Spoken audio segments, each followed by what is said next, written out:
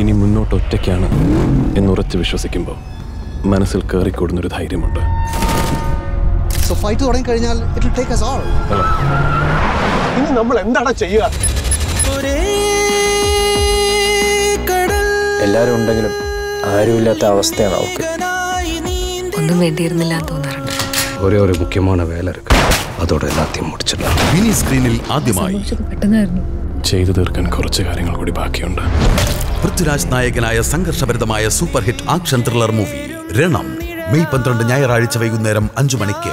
high definition ദൃശ്യശ്രവ്യ മികവോടെ